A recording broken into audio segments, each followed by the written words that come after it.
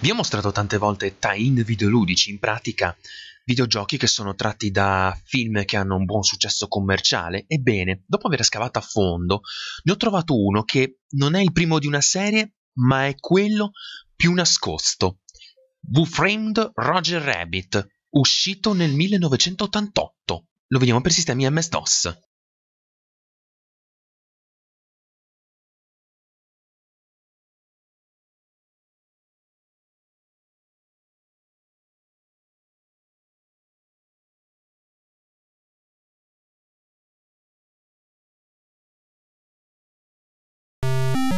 Visto che dobbiamo per prima cosa vedere la storia, beh, se avete seguito l'omonimo film del 1988, allora la conoscete già. Se non lo conoscete, forse avreste dovuto recuperare la videocassetta o il DVD un bel po' di tempo fa, eh, perché ormai lo conoscono anche i muri.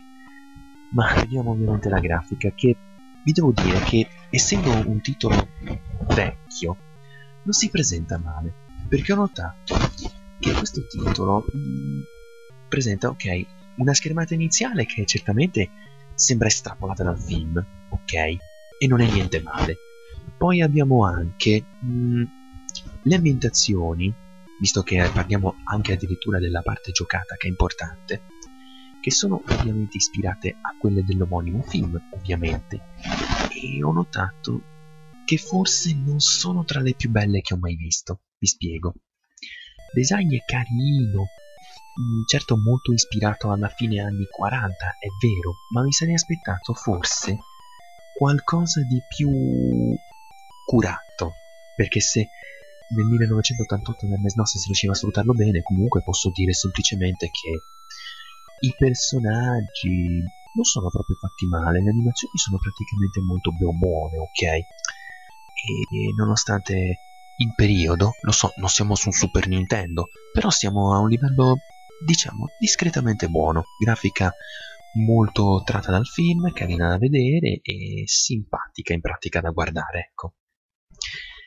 Potevano forse migliorare un pochettino alcuni dettagli nelle ambientazioni, ma niente di più, è tutto qua.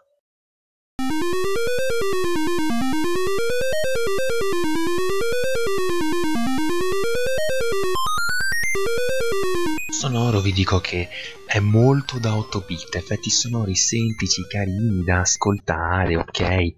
Poi musiche di sottofondo mm, un po' ripetute, ma del resto sono su floppy disk, non sono riprodotte su CD. E ho notato che sono simpatiche da ascoltare, ok? Si ispirano a quelle eh, dell'omonimo film, ma vanno più che bene.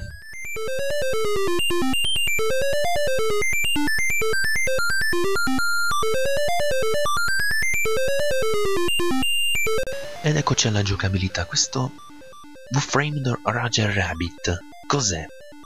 Beh, a quanto pare sembra un gioco platform con una certa varietà.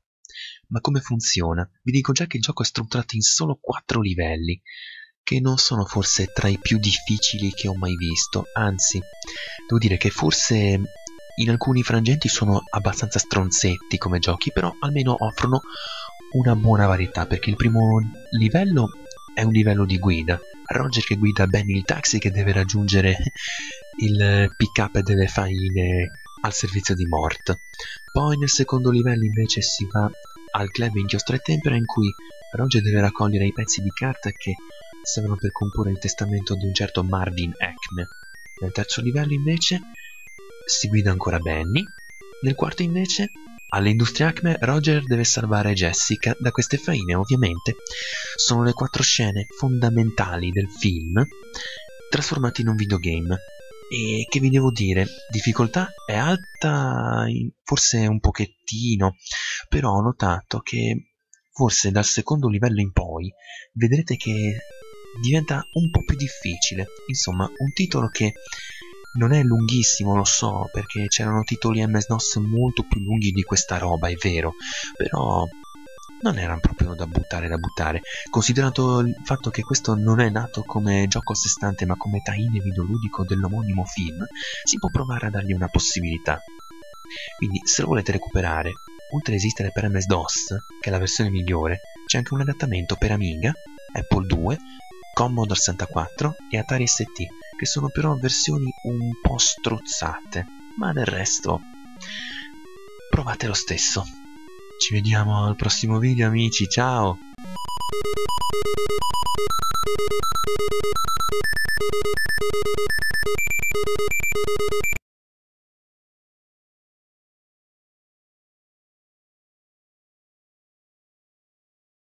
you